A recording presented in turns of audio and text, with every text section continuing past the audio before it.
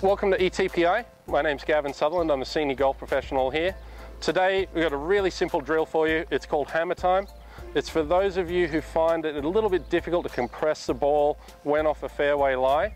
And if you're one that's susceptible to hitting the ground a little bit early because you're trying to elevate the ball off the turf. Really simple one that I have here is a piece of timber with a nail inside that piece of timber. I just want to have a visual that as I would be coming into the back of the golf ball, I want to try and hammer that nail further into the block of timber. Really simple one. If you can grasp this, you'll find that the shaft will be leaning a little bit more forward. Your body weight is going to be a little bit more on your lead leg and your body is rotated towards the target. If you can do this, you'll find that your consistency of the strike is going to be much better and you'll find that that ball is going to fly higher and further. If you retain that visual of the nail into the board, you'll look like something like this. Best of luck.